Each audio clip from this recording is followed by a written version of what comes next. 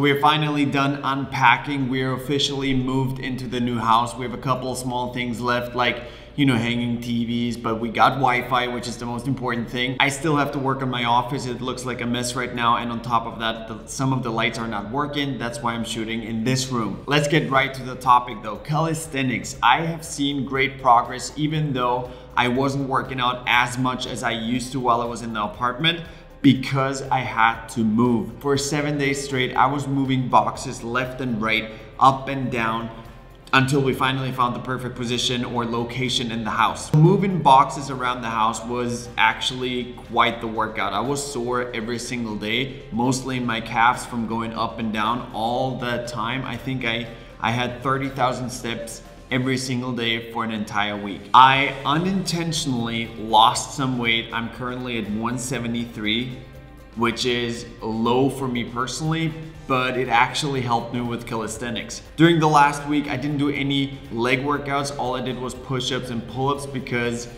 my legs were sore from moving. Surprisingly enough, my handstand game got really good. I can now hold my handstand a little bit longer, my push-ups are getting better, and I also improved my Mm, let's say the, the, the more advanced push-up where I bring my shoulder almost to the ground.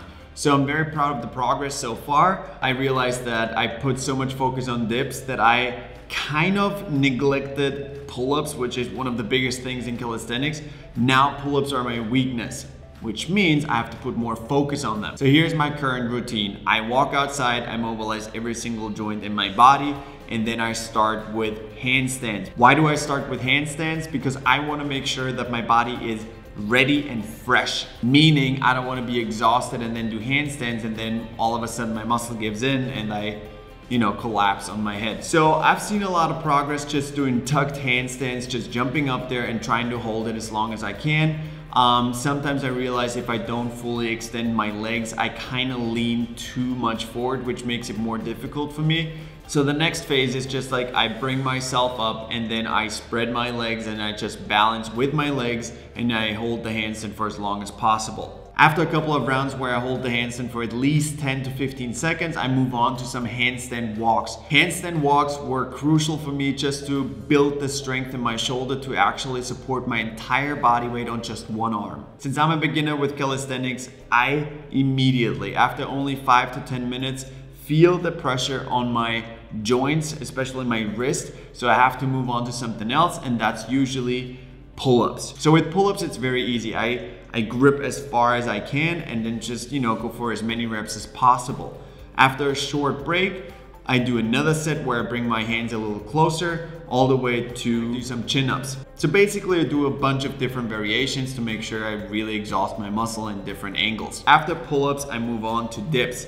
And like I mentioned in my previous video, I love dips. Now I love them even more because I'm getting stronger and now that allows me to put on more weight on my body. Now I have this extra vest and I think it's around 25 to 30 pounds in total.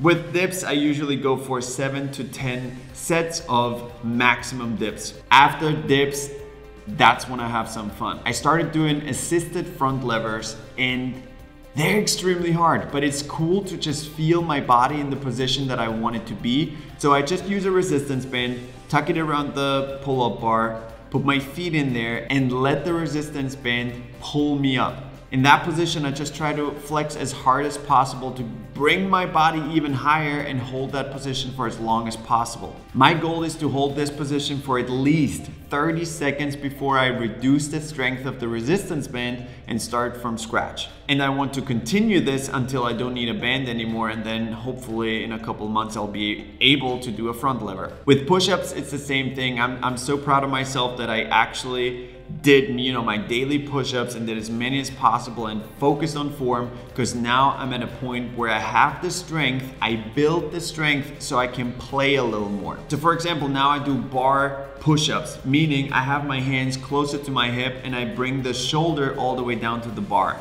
Sometimes when I'm feeling flexible, I try to bring the bars a little uh, further and just go even deeper this is where I've, I see and feel the progress. I'm getting stronger. I see that I can hold my handstand longer. I see that I can hold myself a little longer in the front lever. So all in all, great update for me, even though I wasn't working out as much as I used to before the move. But now, as I said, we finally moved in and now I'm back to working out every single day. My gym is fantastic. I will do a, an entire video about the gym as well because I have some more stuff ordered already, but that's a different video. So calisthenics, I'm still in love with it. So that was it. That was another update for my calisthenic journey. Um, I predict that my handstand game will be very strong very soon because for some reason the, the, the, progress in my handstands is just like it's like that. But yeah that's it for today's video guys. If you want to join the community bodybybartl.com i'm on discord every single day